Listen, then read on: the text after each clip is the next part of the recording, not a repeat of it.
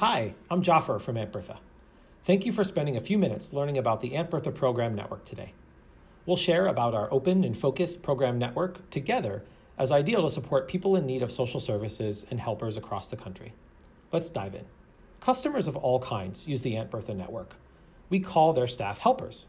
A helper is a person navigating on behalf of a person in need, like a social worker, a librarian, a case manager, and so forth.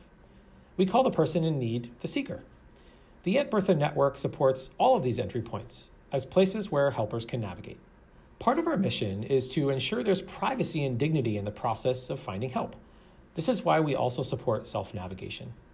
This means the seeker can search for programs and make private referrals to social services as well. As an example, in New York City, 1,500 kiosks on the street throughout the boroughs have Aunt Bertha, supporting anyone in need with self service. There are more than 350,000 program locations serving people available through the Aunt Bertha network. We believe this long tail of services is very important to helping people. There might be a domestic violence hotline in Chicago that serves nationwide, or there may be a small nonprofit locally that serves honorably discharged veterans with utility payment help. As part of an open program network philosophy, we consider eligibility and we do not hide available programs. Of course, community engagement with nonprofits and, and, building local community trust between nonprofits and the helpers in the community is essential. We do this collaboratively with our customers and as a shared service in communities. Over time, we see a few flavors of engagement. The first are CBO partners. They agree to reply to referrals. They may use intake tools such as scheduling and generally keep track of all cases. The second are participating CBOs. These organizations may receive referrals, though they may not always respond due to staff, privacy, or other follow up methods that they use. Third are other CBOs.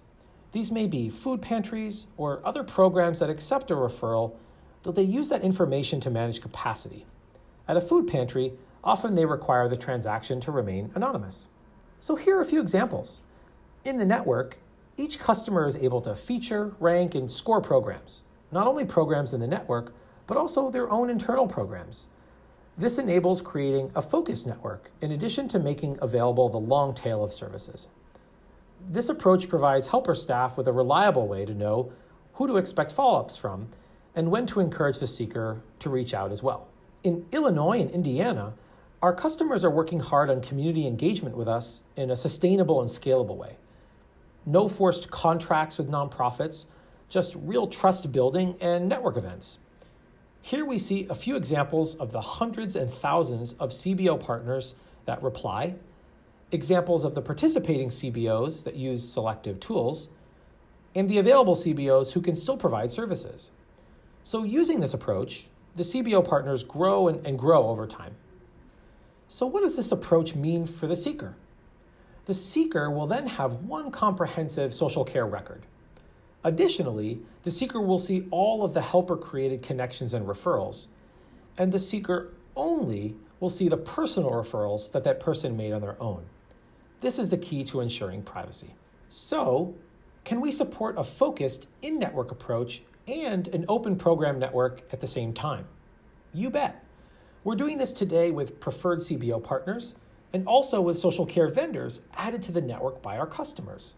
Let's take a look at that. Here are two examples of customers that added their own value added benefits, only available on their staff site for referrals. Using this focused approach, customers can add their own programs or preferred partners only available to the staff for making that connection. So, on the other hand, what does a closed contract only network look like? It's not so great. In a closed network, a vendor takes away the seeker's access to find services on their own a vendor takes away many of the other entry points in the community for helpers to help this person. And a vendor removes that long tail of services. What's worse, in a forced contract for nonprofit scenario, helpers medicalize that referral process and overshare referral information to everyone in that closed system. As a seeker, I don't want overlap of sharing of referrals inappropriately, and I don't want staff seeing a private referral I completed on my own unless I choose to share it. At Aunt Bertha, we've listened to our customers, nonprofits nationwide, and community organizations to ensure we support the right tenets of social connections.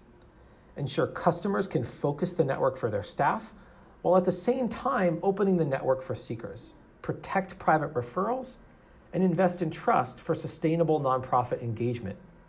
Make tools free, not with temporary contracts.